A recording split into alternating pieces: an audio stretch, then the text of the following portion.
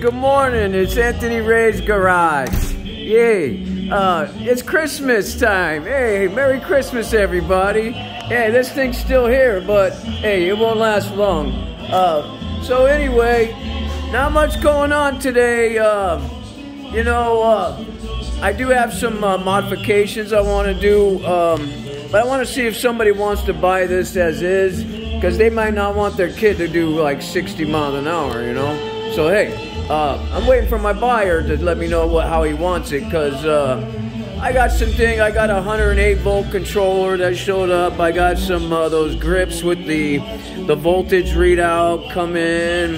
I can modify stuff up. I got the Kelly, but it only goes to 90. You know. Yeah. Merry Christmas, everybody! Hey, Anthony Ray's Garage. That's how we call it now. Yeah, that's what we do. Because things happen here. Just like this. This happened here at Anthony Ray's garage.